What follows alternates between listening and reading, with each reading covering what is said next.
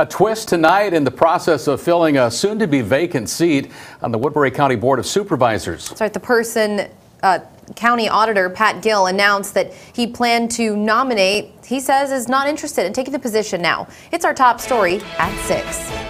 At a press conference on November 16th, Gill said then he planned to nominate former Woodbury County Sheriff Dave Drew to fill the supervisor seat. Drew retired back in 2020. The supervisor's job will come open when current board member Rocky DeWitt resigns in order to take a seat in the Iowa Senate.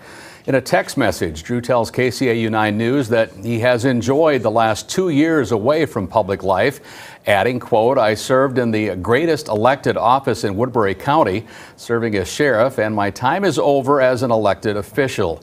Drew went on to say, quote, I believe the county would be better served with a fresh face representing the voters. Along with Auditor Gill, the county attorney and treasurer serve on that committee that can nominate someone to fill DeWitt's seat. The matter also could still end up being decided by a public vote. Nothing official is expected until January 9th. That's when a new Woodbury County attorney, James Loomis, will be sworn in.